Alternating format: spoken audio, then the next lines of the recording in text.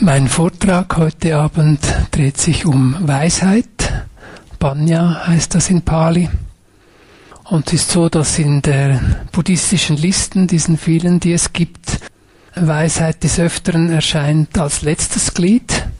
Nach Vertrauen zum Beispiel Gewahrsein, Sammlung, freudvollem Bemühen und anderen Qualitäten. Und das auch mit gutem Grund an letzter Stelle, weil Weisheit quasi auch die Frucht der meditativen Praxis und Schulung ist. Jetzt ist es so, dass zwei auch mir sehr wichtige buddhistische Lehrer den Wert der Weisheit von Anfang an betonen. Trotzdem, also das ist Sayadaw Ute Chania, das ist ein burmesischer Mönch, der auch schon hier einen Retreat gegeben hat. Und der gibt Weisheit insofern einen zentralen Stellenwert, dass er sagt, am Anfang eines Retreats, nach Jahren der Praxis, am Anfang der Praxis, im Alltag immer äh, sollte das ein Thema sein. Und er vermittelt äh, damit auch, Achtsamkeit alleine reicht nicht, es braucht auch Verstehen. Und zwar von Anfang an in allen Belangen. Und eben Verstehen ist auch eine zentrale Aufgabe von Weisheit. Und ähnlich Lama Gendün Rinpoche, ein verstorbener tibetischer Meister, er lehrt Weisheit als ein entspanntes, mitschwingendes und klares Gewahrsein, das quasi unsere tiefste Natur auch ist. Und das heißt, diese grundlegende Natur, die ist in uns bereits vorhanden. Das heißt, sie muss nicht geschaffen werden. Eben, es geht mehr darum, sie freizulegen, einen Zugang zu finden. Und eben weil Weisheit als Potenzial in uns schon vorhanden ist, kann sie manchmal auch durchschimmern. Und wir können Ahnungen von ihr haben, haben wir wahrscheinlich alle schon gehabt. Zum Beispiel, wenn wir das Gefühl haben, das mal erleben, genau so könnte eine ganzheitliche Offenheit sein, leicht und in einem guten Fluss und bezogen mit den Erfahrungen, mit die wir gerade haben so ein Gespür für das mal zu haben. Oder dass wir Momente haben, in denen wir zwar voller Emotionen sind, im Trubel von Emotionen, aber darin mittendrin auch eine Gelassenheit und eine Klarheit da ist und das zum Beispiel uns ein Gespür dafür gibt, so könnte eine größere Weisheit sein.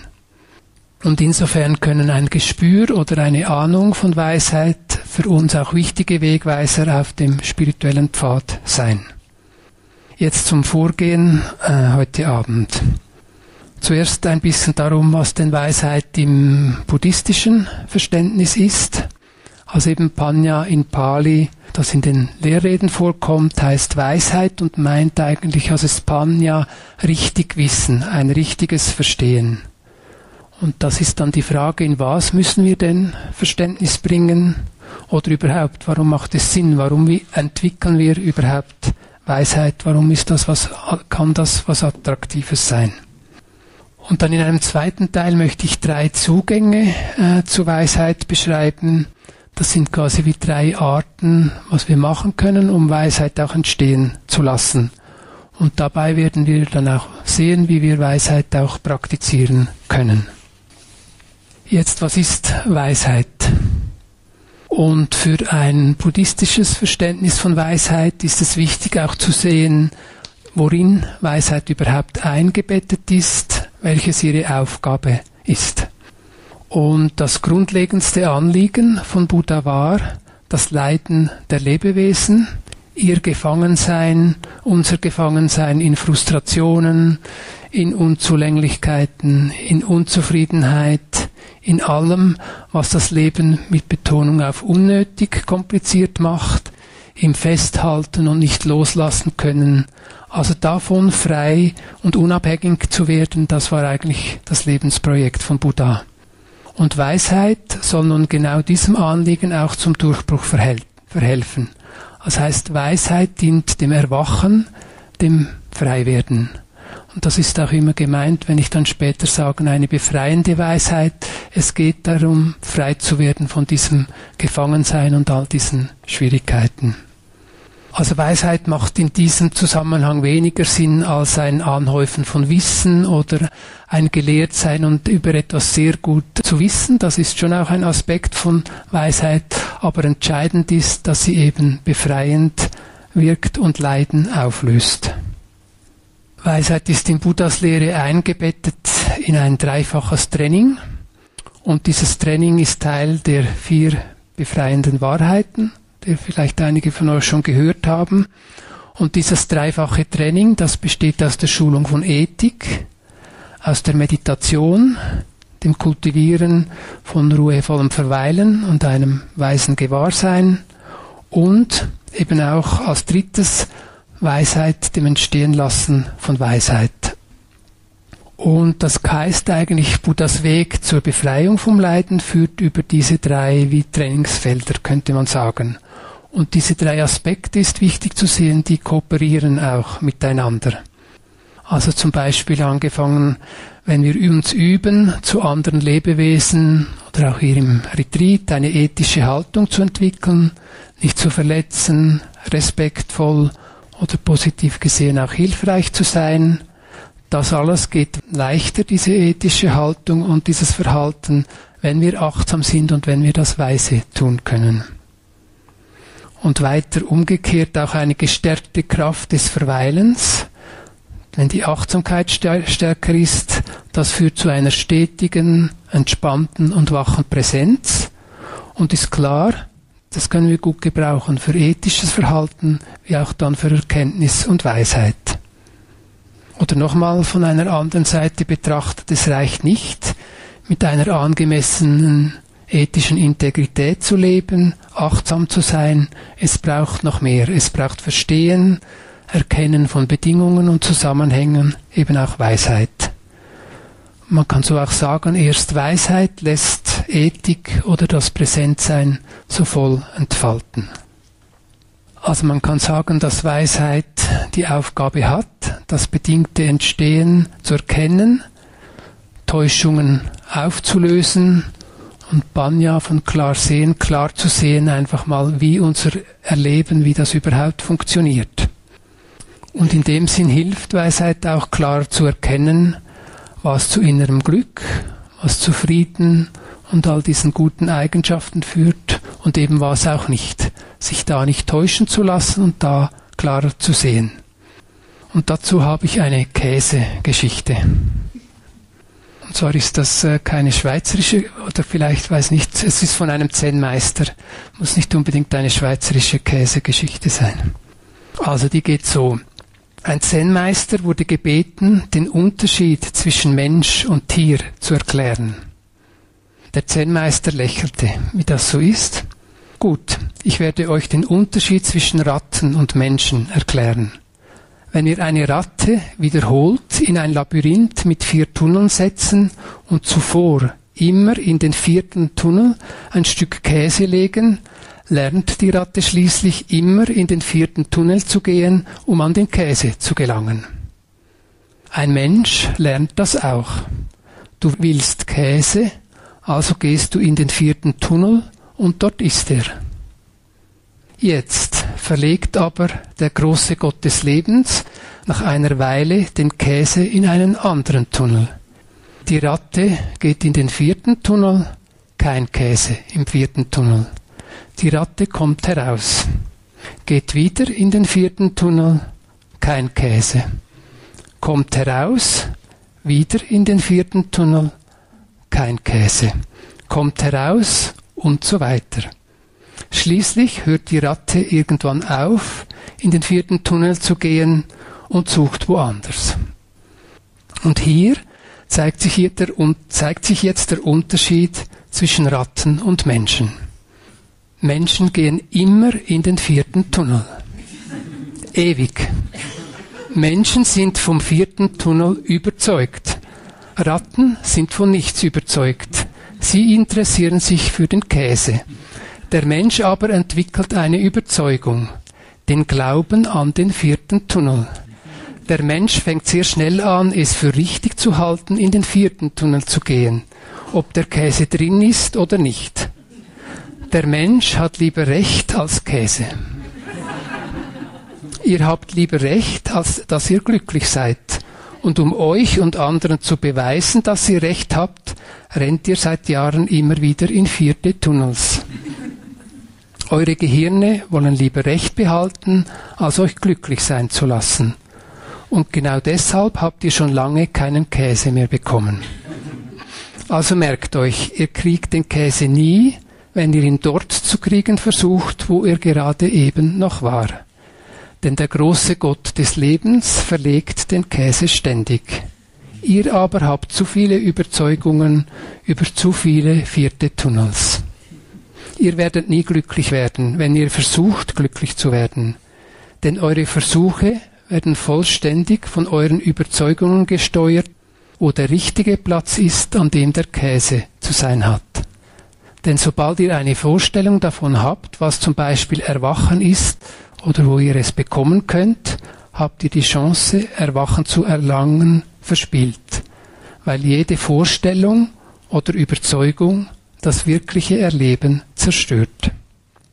Und dann zitiert er offenbar noch André Gide und der hat gesagt, sei wie ein Wanderer, der alles nur im Vorbeigehen betrachtet und nirgends Halt macht. Ich denke, ihr habt es vielleicht auch gedacht, wir haben verschiedene fixe Vorstellungen von vierten Tunnels vielleicht hier schon erlebt. Wir haben gerade eine Meditationsperiode oder eine Phase gehabt, die gerade besonders gut war, erkenntnisreich oder leicht, fast mystisch und so eine, am liebsten genau wieder so eine, am liebsten genau wieder hier. So Vorstellungen, die dann entstehen. Oder sagen wir in den Ferien, irgendwo am Mittelmeer, einen Geköche schmeckt köstlich wunderbar, wir schauen, wie das Rezept ist, nehmen das mit nach Hause, kochen es zu Hause. Die Vorstellung, das will ich wieder hinkriegen und äh, irgendwie ist es dann nicht mehr ganz so genau wie da am Meer, wo wir das gekocht haben. Vorstellungen oder auch wo wir uns täuschen können. Weisheit kann das durchschauen und sie ist auch im Einklang mit den vielen Bedingungen, die unser Erleben auch entstehen lassen. Es gibt ganz viele Bedingungen, die machen, dass irgendetwas entstehen können. Und wenn die sich dauernd wandeln, dauernd in Änderung sind, das ist eben, wollte ich sagen, das ist das, was Katrin gestern Abend gesagt hat, das tiefe Verstehen von Vergänglichkeit. Das ist natürlich eben auch ein Aspekt von Weisheit. Und in dem Sinn wird gesagt, dass es eine, eine rechte Sichtweise gibt im Buddhismus. Das ist quasi ein anderer Ausdruck für Weisheit. Und mit Recht ist gemeint, es ist besser, wenn wir sagen, eine wirklichkeitsgemäße Sichtweise. Also wenn wir im Einklang sind mit diesen Bedingungen der Wirklichkeit eben, dass der Käse immer woanders ist, dass alles vergänglich ist und sich ändert, dann haben wir quasi wie eine wirklichkeitsgemäße Sichtweise. Doch eben, wir können uns täuschen, wo der Käse liegt. Oder eben auch wissen, wo und wann und wie wir ihn finden können. Oder wir können auch wissen, dass der Käse uns nie letztendliche Befriedigung geben wird. Auch das ist ein Aspekt von Weisheit, dass zum Beispiel auch das Gute und Schöne wieder vorbeigeht, dass das nicht letztendlich befriedigend ist. Also das sind alles auch Aspekte von Weisheit. Jetzt komme ich zum zweiten Teil. Drei Wege, wie Weisheit entstehen kann. Und dabei werden wir auch ein bisschen mitkriegen, was Wahrheit im System von Buddha bedeutet oder auch eben, wie wir es praktizieren können. Und noch einmal zur Erinnerung, wir haben gehört, dass Weisheit ein Teil des dreifachen Trainings ist und dass es auch ein ethisches Verhalten und einen durch Meditation entwickelten, stabilen, ruhigen, offenen Geist braucht, um Weisheit entstehen zu lassen. Jetzt finde ich es sehr hilfreich, wie dieser burmesische Sayadaw Utechaniya drei Wege unterschieden hat, die auch in Buddhas Lehrreden vorkommen, quasi drei Wege, wie Weisheit entstehen kann. Und diese drei Wege möchte ich jetzt näher beschreiben und sind quasi wie auch drei Zugänge oder drei Kanäle, wie wir zu tieferem, eben auch befreiendem Verstehen kommen können. Also Weisheit, oder wir können jetzt immer sagen, den Käse finden, durch Hören und Lesen, Weisheit durch Ergründen und Erforschen Und als drittes Weisheit durch direkte Erfahrung. Das möchte ich jetzt etwas vorstellen. Also zuerst Weisheit durch Hören und Lesen. Wenn ich mich wie kürzlich geschehen in einem Fitnesszentrum anmelde, brauche ich gewisse Informationen, um mich in diesem Gelände von Maschinen und Badeanlagen bewegen zu können und auch um zu wissen, wie diese Geräte zu bedienen sind. Dieses Wissen, das brauche ich, um eben das Training im Fitnesszentrum zu machen, meinen Körper zu entspannen, meinen Rücken zu stärken, für alle diese Möglichkeiten. Und dieser Punkt ist eben beim Meditieren ähnlich. Wir brauchen auch bestimmte Informationen, ein Wissen, wie wir zum Beispiel praktizieren und üben können. Also zum Beispiel kann eine Form vom Wissen sein, dass äh, Meditieren der Zeit des Buddha oder im Pali das Wort Bhavana war und dass Bhavana eigentlich entwickeln heißt, heißt oder bedeutet. Also es da, darum geht, auch zu schulen, Herz und Geist mit Heilsamem zu schulen. Und dass es nicht darum geht, also Meditation eben Bhavana ist nicht möglichst perfekt im Lotussitz da zu sitzen und keine Gedanken zu haben. Zum Beispiel, das ist ein Wissen, das uns dienlich sein kann. Oder, was wir hier auch immer mal wieder gehört haben, zu wissen, dass ein entspannter, ein empfangender und interessierter Geist, dass das eine wichtige Grundlage für Meditation und Verstehen ist. Und der Sinn, den es macht, diese Information auch zu haben, auch hier in der, in der Meditation, dass wir es gut schulen können und auch uns viele Umwege ersparen können, dass wir unser Bemühen, dass wir nicht zu viel Bemühen zum Beispiel einsetzen oder auch nicht am falschen Ort einsetzen und so vielleicht auch die Freude an der Praxis verlieren, dass wir gut auch wissen, um was es geht. Und es gibt natürlich auch unterschiedliche Tiefen und Weiten von diesem Wissen können sagen, um mal grundlegend zu wissen, wie eine Vipassana-Praxis geübt wird, reichen Anleitungen in der Form, wie wir sie hier geben, vielleicht in den zwei, drei ersten Tagen.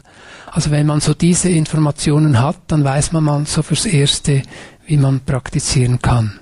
Der Rest sind dann Verfeinerungen. Also für die, die neu sind, ihr habt schon mal einen rechten Teil von Informationen, mit denen ihr jetzt meditieren könnte es kommen dann noch ein paar weitere dazu. Und für die Erfahreneren, das Wissen, die ihr kennt das, was Vipassana Praxis ist, das kann sich dann über Jahre und auch über Retreats verfeinern. Also zum Beispiel das Wissen, wie wir praktizieren müssen, damit wir eben auch möglichst entspannt dabei sein können. Das ist auch ein Wissen, das sich anreichen, verfeinern kann. Oder Dukkha, Leiden, ist etwas Wichtiges auch in der buddhistischen Lehre, das Verständnis dafür zum Beispiel auch mehr und mehr zu verfeinern. Dieser erste Zugang zur Weisheit, den können wir quasi nicht alleine machen, dazu brauchen wir andere Menschen, die uns Informationen weitergeben. Und diese Informationen, die gewinnen wir eben durch Hören von Meditationsanleitungen oder Vorträgen oder durch Lesen von Büchern und Texten. Ich denke, es ist ganz wichtig, uns auch diese Aktivitäten vor Augen zu halten, dass die ein Element einer spirituellen Praxis sind. Dass wir wertschätzen können, was wir auf der Ebene von Hören und Lesen tun. Also was ihr jetzt gerade tut, ihr hört auch einen Vortrag, ihr hört Informationen, was mit Weisheit gemeint ist, und ihr hört das, obwohl es vielleicht jetzt äh, angenehmer wäre, einen Spaziergang zu machen oder Deutschland, Frankreich anzuschauen oder ihr habt vielleicht auch Schmerzen, wenn ihr jetzt sitzt, ist nicht so angenehm. Also ihr nehmt das in Kauf, um Informationen auch zu kriegen. Ein mehr, ein, auch ein theoretisches Wissen.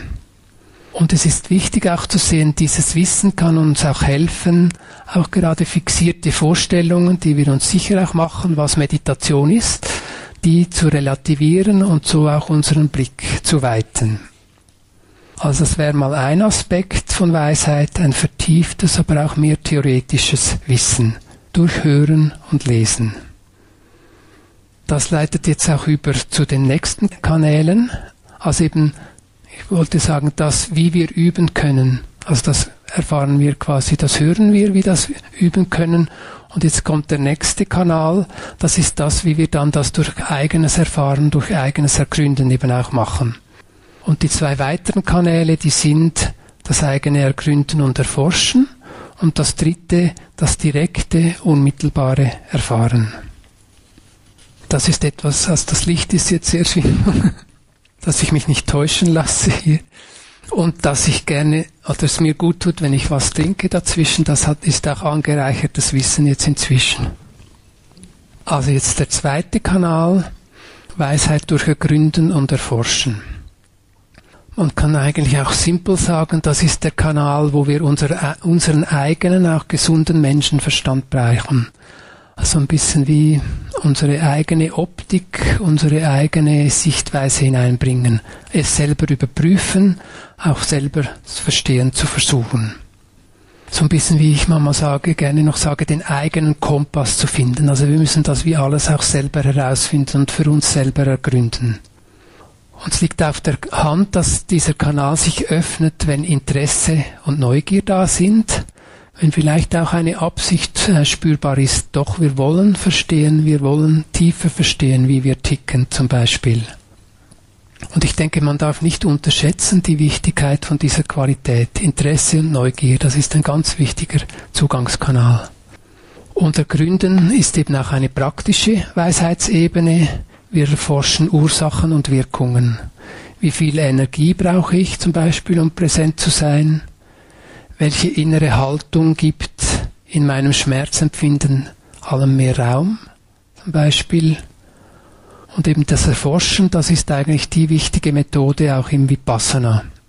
Und das Erforschen ist einer von sieben Faktoren, die der Buddha aufgelistet hat, die dann zusammen im Zusammenspiel zum Erwachen führen hat das auch eine wichtige Rolle. Und das bedeutet das Erforschen, dass wir in allen Sinneskanälen schauen, was geschieht. Also dazu gehören die Körperempfindungen, das Hören, das Sehen, das Schmecken, Riechen und eben auch Gedanken, Emotionen, das Geistige. Das ist quasi das Forschungsgebiet. Und jetzt, wie geschieht nun dieses Erforschen? Und vielleicht eben auch, was ist hilfreich und was können auch Tücken dabei sein? Also erstmal ist wichtig, dass es weniger ein denkerisches Erforschen ist, mehr ein direktes, unmittelbares Dabeisein. Das ist ganz wichtig. Und eben noch einmal, wir brauchen Interesse und Neugier. Das sind wichtige Qualitäten, die da sein müssen. Und dann, um dieses Interesse zu wecken, können auch Fragen sehr hilfreich sein. Fragen können nämlich da sein, nicht nur um beantwortet zu werden, sondern einfach mal um Interesse zu wecken, um unser, unsere Aufmerksamkeit auf etwas zu lenken.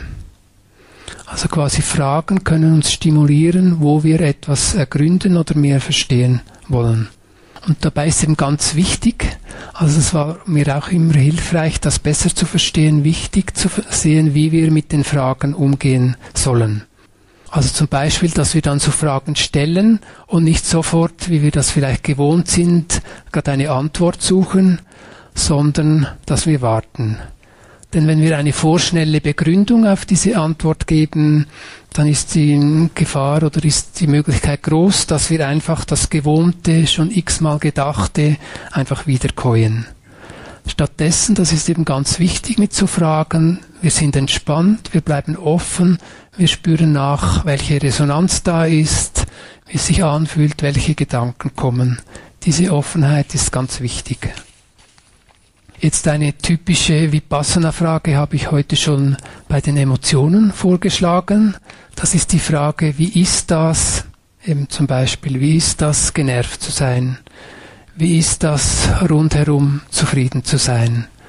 Wie ist das, ein urteilender Geist? Und auch hier geht es nicht um vorschnell Antworten zu finden, sondern einfach mal um ein Eintunen, ein Hineinspüren in die Erfahrung. Und wirklich uns öffnen und empfänglich zu sein. Wir können jetzt vielleicht gerade mal einen Moment mit dem Vortragen innehalten und jetzt einfach uns mal die Frage stellen, wie ist das jetzt gerade, den Vortrag zu hören? das kann ein kleines Aha, so ist es, Aha, da merke ich etwas, so fühlt es sich an oder das macht es gerade mit mir. Das kann schon sehr viel sein, wenn wir einfach das einmal auch wahrnehmen. Jetzt auch noch ein bisschen zu den Tücken äh, dieser Forschens. Es gilt wachsam zu sein, wenn wir merken, dass wir zu intensiv fragen oder dass wir zu analytisch werden. Denn das Erforschen, das kann sich auch mit Verlangen mischen und das Verlangen, das trübt dann die Erfahrung und auch die Unmittelbarkeit.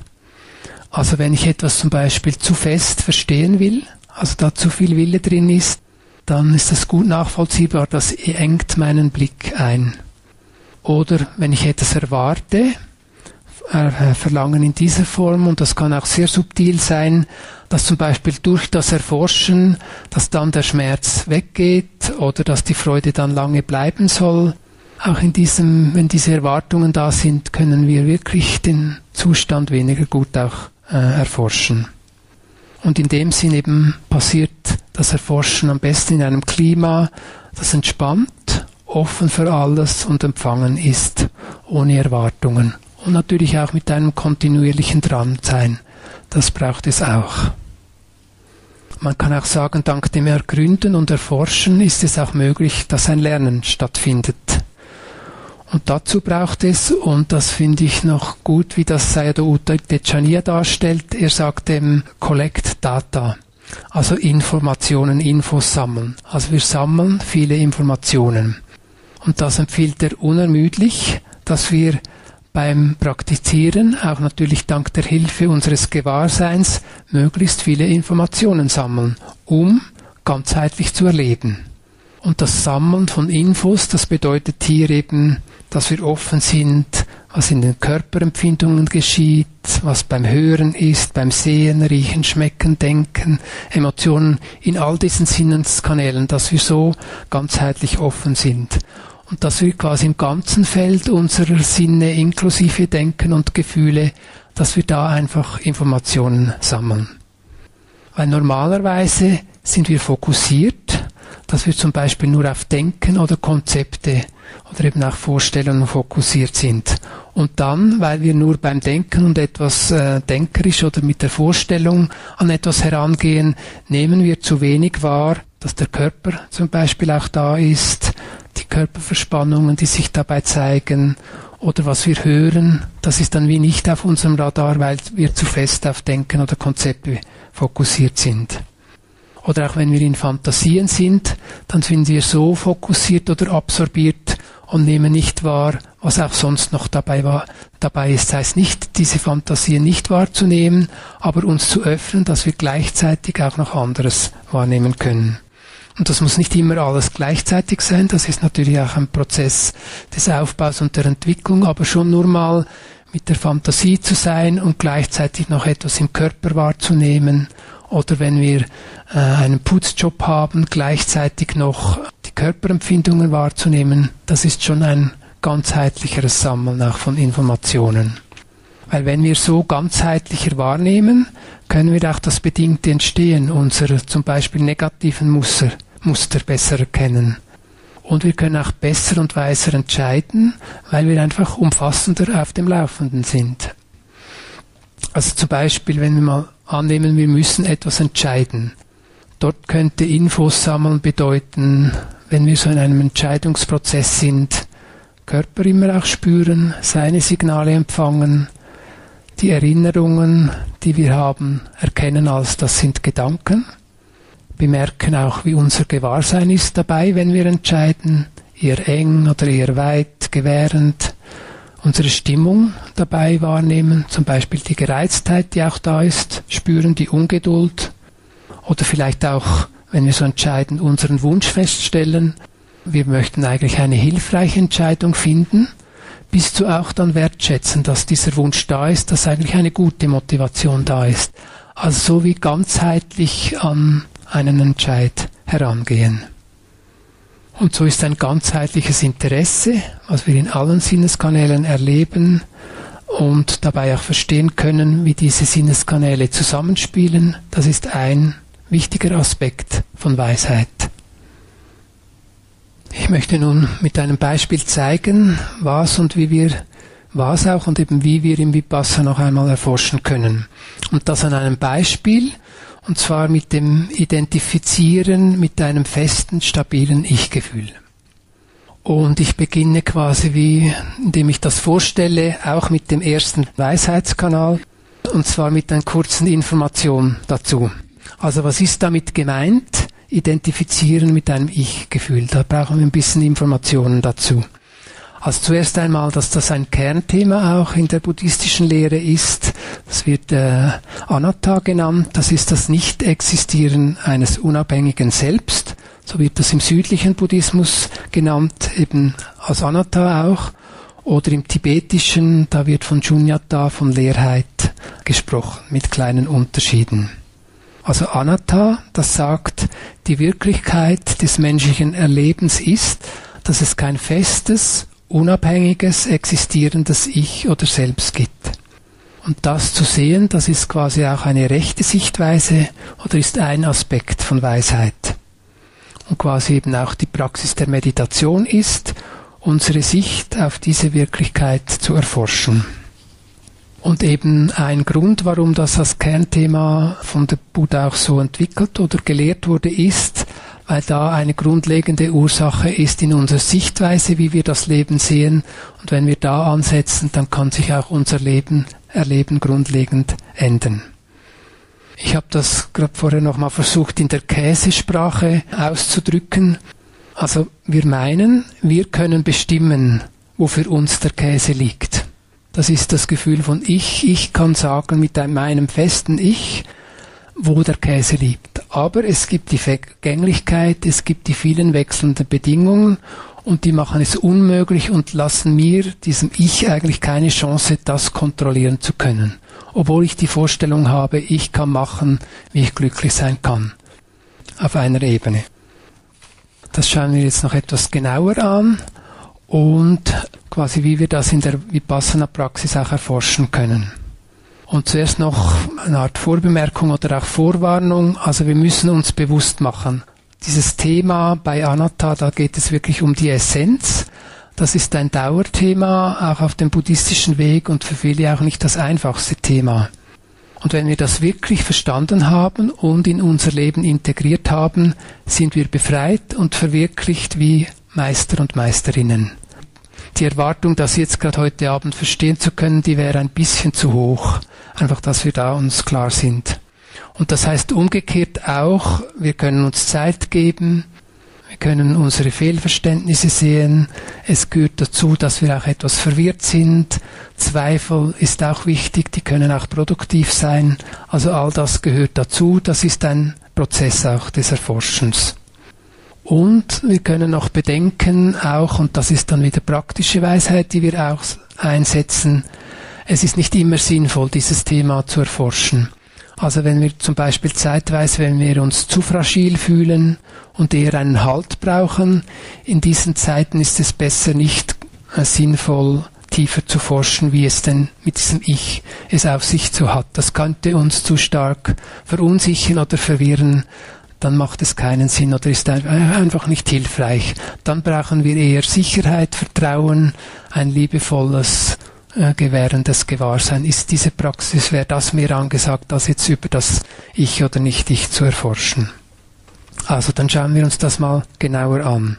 Wie wird das identifizieren mit einem unabhängigen Ich? Wie könnte das erforscht werden? Christina Feldmann ist eine Vipassana-Lehrerin, die das Gaia-Haus in England mitbegründet hat und jetzt auch eine leitende Lehrerin im amerikanischen Meditationszentrum im IMS ist.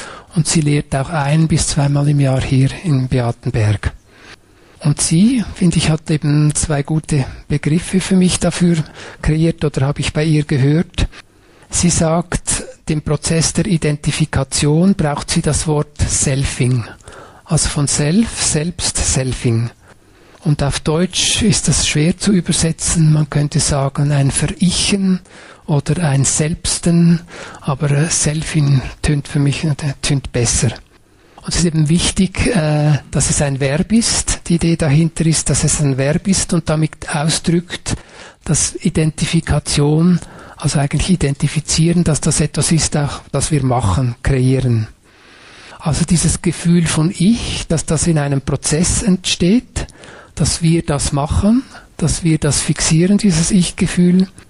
Und quasi so eben auch die Identifikation machen. Und man kann so sagen, das Ich-Gefühl, das entsteht in einem Prozess, wenn wir uns auf etwas fixieren oder wenn wir uns auf etwas fixieren, das für uns im Moment unverrückbar und ganz fest erscheint. Also dass wir ein Ding aus etwas machen, das eigentlich sehr ein dynamisches Geschehen ist, das veränderlich ist. Aber wir machen etwas Festes, es fühlt sich wie ewig unveränderlich an, dass wir so etwas Festes daraus machen. Und noch ein weiterer Begriff, der hilft noch besser zu verstehen. Christina Feldmann beschreibt dann dieses Selfing mit dem Wort, dass wir landen, dass wir irgendwo also müsst ihr euch vorstellen, da ist ein dynamischer Prozess, ein Fluss zum Beispiel von Erfahrungen und im Fluss ist nirgendwo etwas Festes und wir versuchen irgendwo im Fluss fest zu landen und da quasi wie eine, einen sicheren Anker zu finden. Den könnten wir zwar am Boden finden, aber wir, wir sind nur im Fluss. Und da im Fluss, wo alles dynamisch ist, da zu landen, das macht irgendwie nicht Sinn, aber das ist das quasi, was wir versuchen. Also wenn wir zum Beispiel in einem Prozess sind, in ein, der dynamisch sich entwickelt in etwas und dass wir da drin plötzlich sagen, genau, so bin ich, so war ich schon immer, dann machen wir irgendetwas fest in dieser Dynamik. Oder daran glaube ich für immer und ewig, so von der Qualität her, wenn wir so etwas fixieren. Oder so bin ich. Das hat auch so was Festes. Ein gutes Beispiel sind natürlich Meinungen, dass die auch etwas ist, mit denen wir gerne sicher und fest landen. Das ist meine Meinung. Und es ist natürlich okay und überhaupt kein Problem, eine eigene Meinung zu haben. Der Punkt ist es auch hier mehr zu wissen, dass es bloß eine Meinung ist, die wir vielleicht unterschiedlich vertreten, je nachdem, mit wem wir zusammen sind, oder auch die wir anders vertreten, je nachdem, wenn wir fühlen. Also die ist nicht so fest, absolut, wie es vielleicht mal in einem Statement daherkommt. Zu Problemen führt es eben, das ist immer wieder der Punkt, wenn wir festhalten, wenn wir uns mit der Meinung identifizieren, das ist meine Meinung. Und das hat dann wie etwas Abgetrenntes, auch in einem Fluss von vielem, dass wir da etwas Festes zu suchen versuchen, dass wir da irgendwo landen wollen. Und das kann spannend sein, dieses Landen auch mal zum Beispiel körperlich zu spüren. Wenn wir merken, irgendwo hängt es ein und jetzt fixiert es. Also bei mir zum Beispiel, wenn ich mich auf etwas fixiere oder etwas zu viel will, dann mein Blick ändert sich dann zum Beispiel, der wird dann starrer. Oder auch so im Kieferbereich ist bei mir spürbar, da will ich mich dann so ein bisschen wie festbeißen. Also der Körper kann ein gutes Signal sein, so dieses Verichen, dieses Selfing da mal besser nachzuspüren. Und auch geistig kann, können wir dem nach, nachgehen, ist das wahrnehmbar. Wenn wir zum Beispiel uns vorstellen, ein weites offenes Gewahrsein und das wird eingeschränkt. Es wird enger, fokussierter auf etwas, eben unsere Meinung oder unser Charakter. Wir können uns auch geistig einengen, fixieren. Als Beispiel, was mir dann auch hier in den Sinn kommt, ist ein zum Beispiel fünfjähriges Kind, das gerade mitten in einem Trotzanfall ist. Ich will, ich, ich, ich, ich, ich. Da gibt es nur ich, nur dieser Blick, es gibt nichts anderes. Und wenn wir das von außen sehen, wie das Kind nicht sieht, dass es im Moment unrealistisch ist, oder vielleicht kann es so die Mutter umkriegen, kann auch sein, aber wenn es unrealistisch ist, das liegt jetzt nicht drin und das Kind ist so fixiert, das jetzt unbedingt äh, zu wollen. Also da können wir vielleicht mal bei, bei Kindern oder auch bei unserer eigenen Kindheit oder bei uns selbst auch noch als Erwachsene nachspüren, wie ist das, wenn ganz viel Ich, Ich, Ich in uns drin ist. Und ich spreche eben auch gerne nicht von einem Ich in diesem Zusammenhang, sondern mehr von einem Ich-Gefühl. Weil das Gefühl hat auch etwas Flüssiges, das ändert sich, hat nicht so etwas Festes wie ein Ich, so das Ich als Wort. Also es ist auch flüchtig, bedingt entstanden und dieses Ich-Gefühl, das ist eben auch mit diesem so. Es entsteht bedingt. Mama fühlen wir stärker, ich bin so oder ich bin es oder ich beobachte zum Beispiel, ich will etwas. Das kann so ein normales Bestreben sein. Gottes. Klar ist, es ist jetzt sinnvoll, etwas zu wollen. Das schließt nicht aus, dass wir das nicht mehr äh, sollen. Aber wenn sehr viel Ich, Ich, Ich dabei ist, also das können wir mal ergründen, was das in der Erfahrung auch für einen Unterschied macht. Und es ist so, wir brauchen dieses Ich in diesem Leben, also zum Beispiel um zu bezeichnen, das bin ich und das bist du und das ist sie und das ist er. Also auf dieser konventionellen Ebene macht das durchaus Sinn und ist überhaupt äh, kein Problem. Ich muss auch jemandem sagen, wo ich wohne und nicht, wo Fritz wohnt oder so. Also von dem her geht jetzt nicht darum, nie mehr ich zu sagen. Das ist nicht das Ziel, sondern zu spüren, wo wir uns damit identifizieren.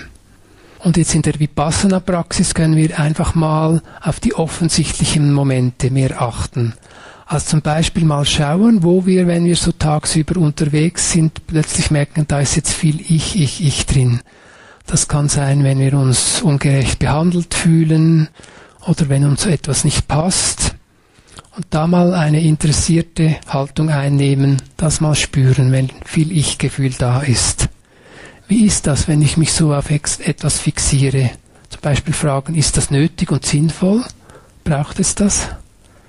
Und ihr erinnert euch an die Käsegeschichte und den vierten Tunnel, so die Vorstellung, da muss der Käse liegen. Da landen wir mit unseren festen Vorstellungen. Und auch dem können wir nachspüren, wenn wir so etwas wie fix uns vorstellen. Zum Beispiel so, jetzt hab ich's, so ist es, das ist es. Oder so sollte das Treppenhaus geputzt werden. So sollten sich andere verhalten. Oder was ich auch noch gut finde, ein Ding aus etwas machen. Das kennen wir, wenn wir so ein riesen Zeugs aus etwas machen, dann geht es auch darum, dass wir etwas fixieren wollen. Ein Ding aus dem Essen machen, ein Ding aus den Anleitungen machen, ein Ding aus dem Ort hier machen, ein Ding aus der Meditation machen, da mal nachspüren, was das mit uns macht. Und das kann eigentlich, können wir sehr einfach halten. Einfach nur nachspüren und fixieren da ist, ein Landen bei etwas und mal zu spüren, wie das ist, wenn wir mit starkem, so Ich-Gefühlen unterwegs sind und mal zu spüren, wenn fast nichts da ist oder gar nichts spürbar da ist, wie ist dann unsere Lebensqualität. Dem einfach mal nachspüren. Und es ist wichtig, dass diese Sichtweise dass es nicht ein so unabhängiges Ich gibt, das so quasi klar kontrollieren kann, dass dieses, äh, diese Sichtweise unsere Erfahrung nicht leugnet. Das heißt nicht, die Konsequenz ist nicht zu sagen, mich und meine Erfahrungen, die sind eigentlich gar nicht da, weil es ja kein Ich gibt. Also das wäre quasi wie eine falsche Schlussfolgerung. Und das lässt sich auch leicht beweisen. Also wenn wir nur bei unseren sechs Sinneskanälen sehen, da ist eindeutig was spürbar. Und es gibt diese Geschichte vom, weiß nicht, japanischen oder chinesischen Meister, da hat jemand gesagt, ich habe die Leerheit erkannt und dann hat er eins auf den Deckel gekriegt und gesagt, siehst du, du spürst immer noch etwas, es ist nicht nichts mehr da, das ist noch da, aber es kann sich etwas anderes geändert haben. Aber es ist wichtig, unsere Erfahrungen, was da ist, das wird damit nicht geleugnet. Die Sichtweise ist mehr, wir sehen einfacher, was da ist. Also es ist einfach ein Gefühl von Ärger da, es ist einfach eine große Zufriedenheit da, ein ungeduldiger Geist, ein Kommen und Gehen. Und gleichzeitig sieht die rechte Sichtweise, aber da ist niemand zusätzlich da, der das alles kontrollieren kann, keine Ich-Zentrale, die das alles im Griff hat oder haben muss. Und wenn ein Ich da ist, dann ist das auch ein Gefühl, ein Gedanke, eine Konvention und auch dieses Gefühl von Ich, das kommt und geht, ist mal stärker und schwächer. Und das ist die Sichtweise von einfach, es ist nicht mehr, aber auch nicht weniger. Der Körper wird gespürt, Gefühle sind offensichtlich da, Gedanken auch, eine gewisse Ermüdung bei mir auch. Und Ich-Gefühle zeigen sich mal stärker, mal schwächer, mal gar nicht. Aber die Erfahrungen, die sind immer noch da. Der Punkt ist, diese Illusion, die Vorstellung von einem Ich, ist, dass die nicht mehr da ist. Und dass damit auch eine Bürde weg sein kann. Ich sollte alles kontrollieren können. Es ist vielleicht auch vorstellbar, dass wenn diese Ich-Zentrale, diese Vorstellung nicht mehr da ist, dann, dann löst sich auch etwas von einer zu starken Selbstzentrierung auf uns selbst auf. Jetzt Ajahn Chah, der drückt das so aus, du bist der, der diese Dinge erfährt. Das ist quasi das, was da ist, unsere Erfahrungen. Und er sagt, du bist nicht der, der sie besitzt. Nicht das kontrollierende, besitzende Ich. Das umschließt so beide Aspekte. Das war jetzt der zweite Weisheitskanal, das Selbst ergründen und erforschen. Und gegen Ende des Vortrags jetzt noch zum dritten Weisheitskanal. Und das ist Weisheit durch direkte Erfahrung. Die beiden bisherigen Zugänge zur Weisheit, die reichen nicht, Befreiende Erkenntnis braucht die direkte, unmittelbare Erfahrung. Befreiende Erkenntnis kann eine Folge des Erforschens sein, wie wir das vorher gesehen haben. Jedoch ganz wichtig, befreiende Erkenntnis kann nicht gedanklich oder analytisch fabriziert werden. Im dritten Zugang lassen wir das Erforschen oder auch das Verstehen wollen sein. Das heißt, hier müssen wir nichts versuchen, nichts erforschen. Und hier brauchen wir eigentlich sehr wenig in diesem dritten Zugang. Ein entspanntes und offenes Gewahrsein, ein Verweilen können und den Rest lassen wir entstehen. Das ist noch wichtig. Also das Erforschen, da ist immer noch ein Element des Machens, des Verstehens auch drin. Und in diesem dritten Kanal machen wir eigentlich nichts mehr. Einsicht durch direkte Erfahrung kann letztendlich nicht gemacht werden, sie geschieht einfach. Wir alle haben unsere emotionalen Themen, mit denen wir schon uns zur Genüge befasst haben, schon ganz viel versucht, viele Bewältigungsversuche gemacht haben und diese emotionalen Themen, unser Thema, das haben wir immer noch. Und hier wäre quasi der Zugang in diesem dritten Kanal, nichts tun damit. Einfach sein damit. Das hat nochmal eine ganz andere Qualität. Und es ist eigentlich nur ein einziger Job, den wir hier haben, dass man sagen könnte, die Achtsamkeit, das Präsentsein, das brauchen wir dabei. Aber der Rest ist nichts tun. Einsichten, Erkenntnisse, die offenbaren sich uns, wenn die richtigen Bedingungen vorhanden sind. Und weil wir nicht von diesen unzähligen Bedingungen, weil wir die nicht alle kennen können, zeigen sich tiefere Einsichten noch gerne dort, wo wir es eigentlich gar nicht erwartet hätten. Und vielleicht kann man zum Zugang zwischen dem zweiten und dritten Weisheitskanal noch sagen, also wenn wir uns zum Beispiel das Identifizieren mit den Ich-Gefühlen, wenn wir das nachhaltig erforschen, da immer mehr verstehen, dann schaffen wir wie so die Bedingungen, in denen tiefergehende, befreiendere Weisheit eher entstehen kann. Wie werden wir reifer für tiefere Einsichten, die uns von unseren Täuschungen befreien können? Und was noch wichtig ist, wir müssen uns eigentlich nicht darum sorgen, dass wir uns, dass wir es verpassen, irgendeine Einsicht mitzukriegen. Und das erklärt Sayadaw Ute Chaniya, indem er Weisheit folgendermaßen definiert. Weisheit oder Erkenntnis ist da, wenn der Geist tief versteht und jetzt auch nicht vergisst. Also wenn wir mal etwas tief verstanden haben, dann werden wir das auch definitiv nicht vergessen. Einsichten, tiefere Einsichten, die prägen sich auch tiefer ein. Vielleicht noch ein paar Anzeichen, die da sein können von Einsichten, dass wir dann in Herz und Geist eine Klarheit haben, zum Beispiel. Es kann ein Gefühl sein, aha, jetzt verstehe ich, jetzt verstehe ich etwas neu oder anders oder dass wir merken, so habe ich in meinem Leben noch nie gedacht oder so war diese Qualität von Erleben, das hatte ich in meinem Leben noch nie. Oder was auch dazu zugehört, innere heilsame Qualitäten, die werden dann verstärkt, die sind verstärkt da. Dann nicht dauerhaft, aber im Moment. Und um jetzt den Vortrag Abend abzuschließen, können wir uns vielleicht mit dem ersten Weisheitskanal sagen, wir haben mehr über Weisheit gehört, vielleicht Neues oder Altbekanntes.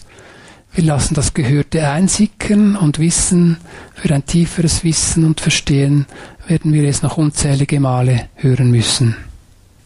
Und im zweiten Weisheitskanal können wir uns sagen, das Identifizieren mit diesen Ich-Gefühlen, das könnte etwas sein, das wir morgen gut erforschen könnten. Ganz praktisch anhand von dem, was wir jetzt hier noch erleben. Und im dritten Weisheitskanal könnten wir uns sagen, wir brauchen zeitweise gar nichts zu tun. Wir brauchen nur entspannt und stetig gewahrt zu sein, der Rest wird sich ergeben.